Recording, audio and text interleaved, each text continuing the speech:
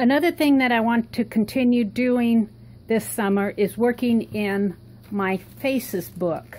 I think I've shown you most of these. I haven't had a chance to work in it too much, but I did work on this gentleman. I think I showed you this one, and this one, and this one.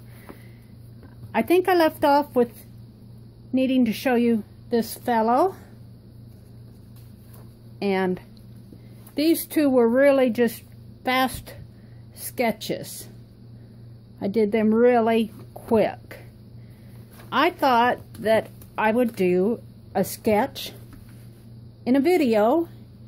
I zoomed in a little so that you can see and I'm going to get started and let's see what happens.